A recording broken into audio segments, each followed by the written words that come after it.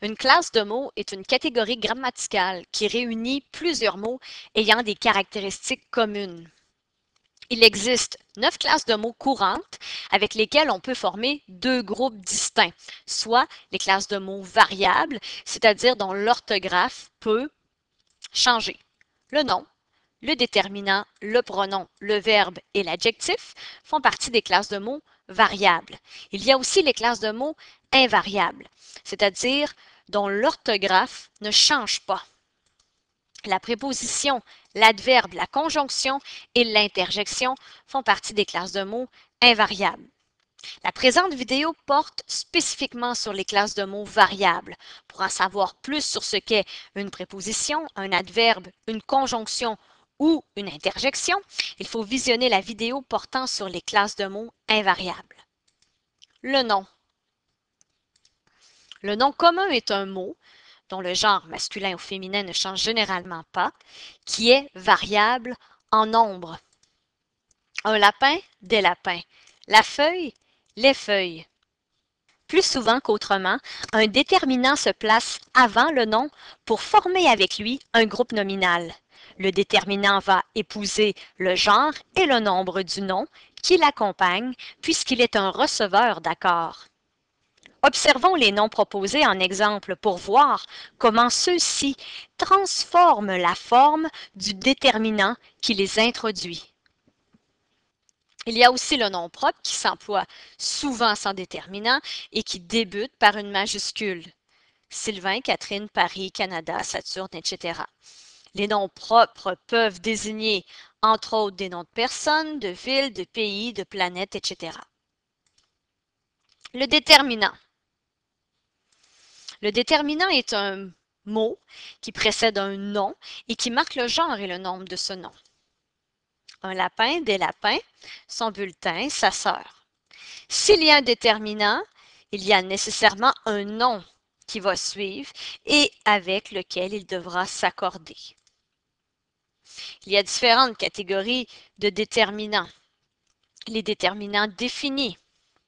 Le lalet est l'apostrophe les déterminants indéfinis, un, une, des, de, des apostrophes, et les déterminants démonstratifs, ce, cette, cette au féminin, c'est.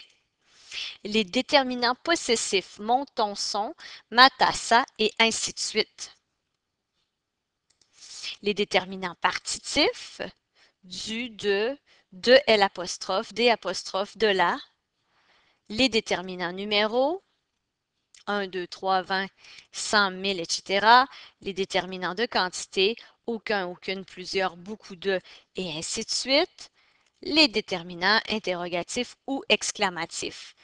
Quel, quel, quel, quel, selon euh, le mot qui va suivre, soit le nom. On va faire l'accord. Ce qu'il faut surtout retenir concernant le déterminant, c'est qu'il précède un nom. Ainsi, il est plus facile de le reconnaître dans une phrase et d'effectuer l'accord qui s'impose. Le pronom. Le pronom est un mot variable qui remplace généralement un nom. Madeleine est arrivée avec les documents et les a déposés sur son bureau. Les deux pronoms présents dans cette phrase sont elle et les. Elle est un pronom qui reprend le nom propre, Madeleine. Les est un pronom qui reprend les documents. Jonathan et Philippe ont tous deux gagné la compétition. Ils sont vraiment heureux. Il est le pronom. Ce il pluriel reprend un groupe de mots pluriel, ça va de soi, soit Jonathan et Philippe. Il y a différentes catégories de pronoms. Les pronoms personnels qu'on connaît bien à cause de la conjugaison des verbes, entre autres. Les pronoms possessifs, le mien, le tien, le sien, la mienne, la tienne, la sienne, et ainsi de suite.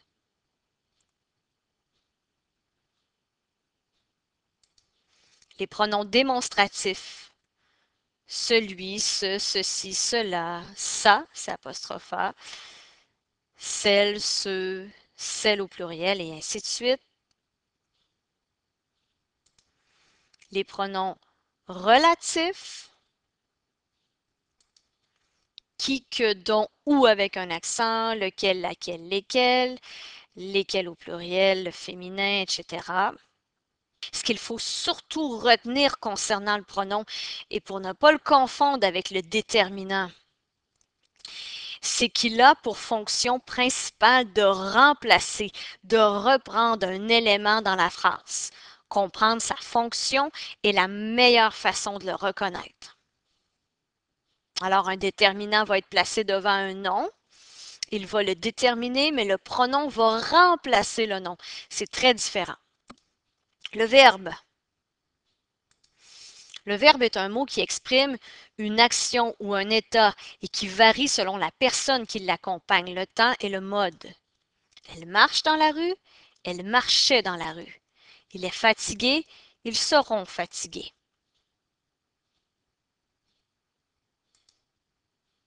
On remarque qu'est placé devant chacun des verbes un sujet dont la classe peut être, comme dans les exemples suivants, un pronom.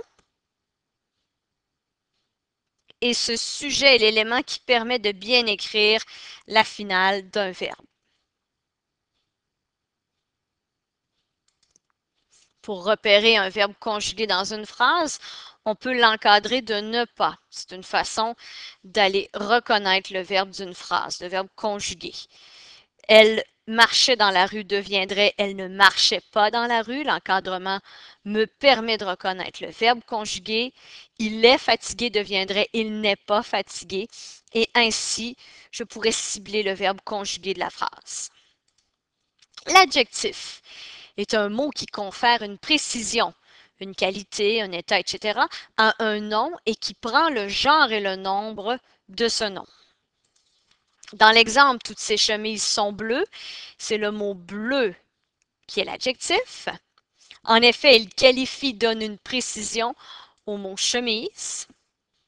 On remarque également que le nom chemise donne son genre et son nombre à l'adjectif bleu, puisqu'il est donneur d'accord.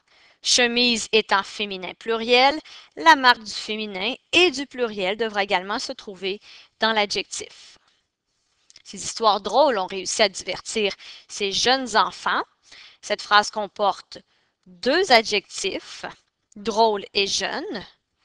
Drôle qualifie le mot histoire, alors que jeune donne une précision au mot enfant. Observons maintenant les donneurs d'accord, c'est-à-dire le mot qui est lié à chacun des adjectifs. Observons le genre et le nombre de ces mots. On remarque que histoire donne son genre et son nombre à drôle, ce qui explique la présence du S, alors que enfant donne son genre et son nombre à jeune, ce qui explique encore une fois la présence du S, car ce sont deux mots qui sont des noms pluriels.